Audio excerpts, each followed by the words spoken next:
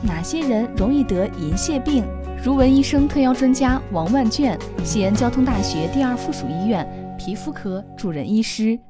银屑病啊，呃，俗话叫牛皮癣，这个它是与遗传是有一定的关系的，就是是一种以遗传为背景，受着多种环境因素影响、参与、免疫介导的慢性复发性皮肤病。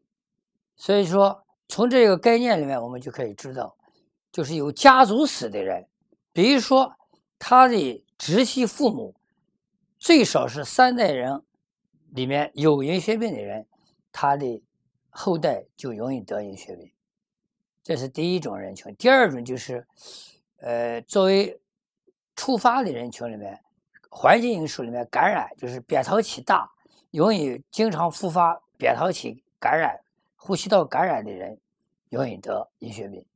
第三个就是，呃，手术或创伤。可以诱发银屑病。